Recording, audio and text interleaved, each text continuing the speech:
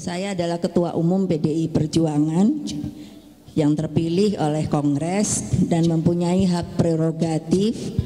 Sehingga kalau pada Rakernas ketiga itu juga sudah berulang kali saya katakan sudah diputuskan bahwa pencalonan itu akan dilakukan setelah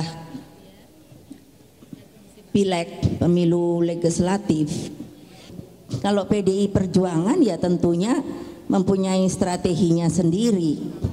Karena kan memilih orang ini tidak mudah. Siapa yang harus menjadi calon presidennya? Kita fokus saja kepada pemilu legislatif karena di situ juga sudah ada aturannya. Karena tanpa kerja keras apa pun juga hasil yang akan kita dapatkan tentunya telah diinstruksikan oleh DPP partai kita harus bisa mencapai 20% dari threshold